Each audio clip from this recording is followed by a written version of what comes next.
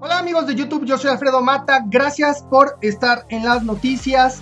El día de ayer el presidente de Rusia, Vladimir Putin, se reunió en Turquía con el presidente de Turquía, Erdogan, y bueno, comenzaron a platicar sobre el tema de Irán contra Estados Unidos. Como bien ustedes saben, Estados Unidos hace un par de días pues eh, asesinó al segundo hombre más importante del país, eh, eh, Qasem Soleimani quien es un líder militar a quien Estados Unidos le considera un terrorista.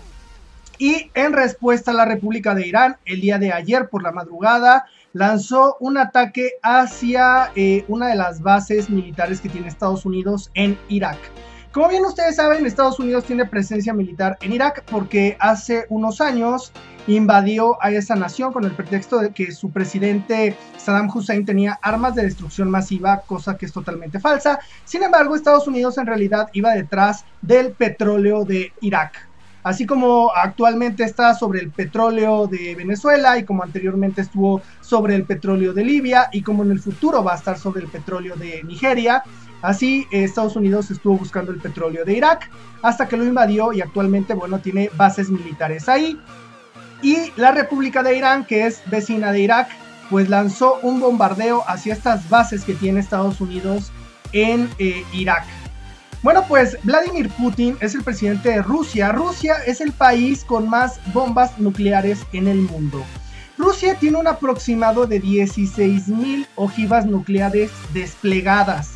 Esto significa que al presionar Vladimir Putin un botón, puede lanzar ataques nucleares hacia las ciudades más grandes del mundo.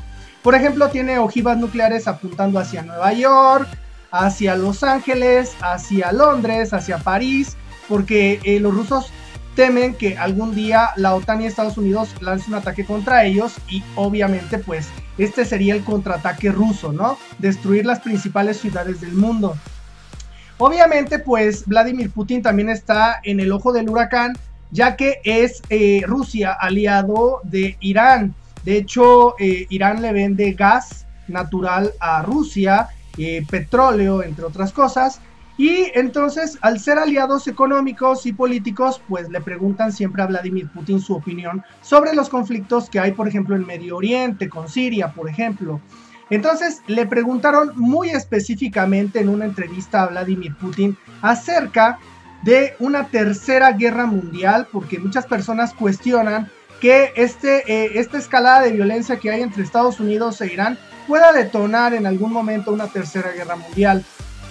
Bueno, Vladimir Putin dijo muy concretamente, aquí podemos recordar a Einstein, quien dijo, no sé qué armas tendremos en la tercera guerra mundial, pero sí sé qué armas habrá en la cuarta guerra mundial. Se peleará muy seguramente con palos y piedras, haciendo Einstein referencia a que, bueno, después de una guerra nuclear que hubiera en el planeta, pues habrían pocos sobrevivientes, tal vez terminaría la vida como la conocemos y la economía y la política y la sociedad. Muy probablemente sufriríamos un retraso de tal vez 2000 años o 1500 años después de una guerra nuclear. Si ustedes se ponen a pensar no sé en qué país me estén viendo, yo soy mexicano. Y las tres ciudades más importantes de mi país son Ciudad de México, Guadalajara y Monterrey. Si Rusia tirara tres bombas atómicas en esas tres ciudades y se eliminaran, simplemente sería un caos mi país. Eh, no habría posibilidad de que México se pudiera levantar en varios años, tal vez decenas de años. Y simplemente se destruiría México sin esas tres ciudades que son el eje, eh, la, columna vertebral del país. Asimismo, si tú eres, por ejemplo, de Colombia, es como si tiraran bombas en Bogotá, en Medellín y en Cali. Tal vez Colombia se desbarataría. Si tú eres de España, sería una bomba en Madrid, una en Barcelona y otra en Santander, por ejemplo. Entonces sería prácticamente destrozar a un país y nada más con tres bombas nucleares. Rusia tiene 16 mil.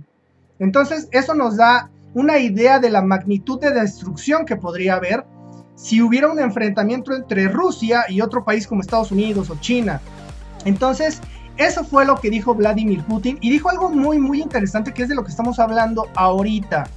Vladimir Putin aseguró que una tercera guerra mundial podría llevar al fin de la civilización como la conocemos y que por lo general, eh, eh, eh, después de la Segunda Guerra Mundial, han habido guerras que son locales, por ejemplo, el conflicto que tuvo, no sé, Chechenia, el conflicto que hubo en Libia, en Irak, en Vietnam, pero son, son guerras locales de ciertos países con una potencia que interviene como Estados Unidos o Rusia.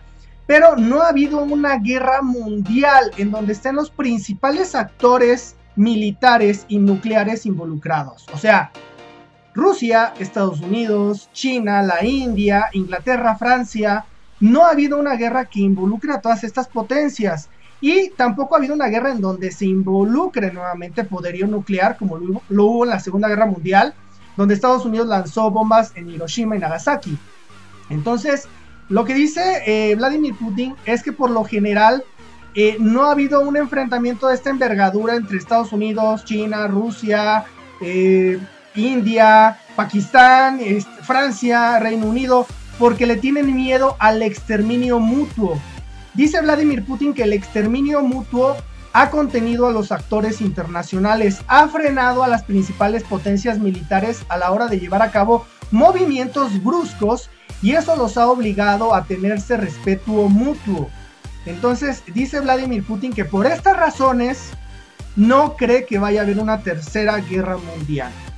El exterminio de la, de la humanidad como lo conocemos y por otro lado el respeto mutuo que se tiene en las potencias nucleares. O sea, Estados Unidos tampoco se va a meter en un problema con Rusia porque estaría en juego pues la hegemonía, estaría en juego Estados Unidos completamente.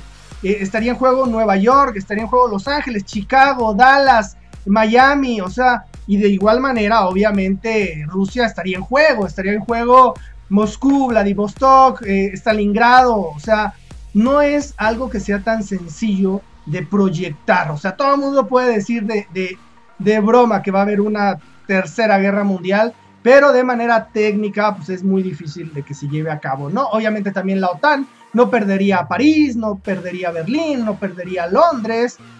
Es algo sumamente complejo. Pero al menos Vladimir Putin ya dio su punto de vista y actualmente está en Siria.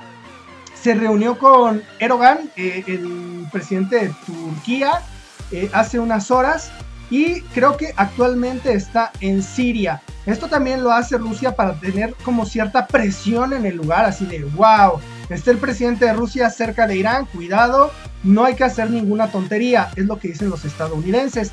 De hecho, ya Estados Unidos eh, dijo que le va a levantar ciertas sanciones económicas a eh, Irán por haber bombardeado las bases militares, pero no va a reaccionar de momento de manera violenta Estados Unidos.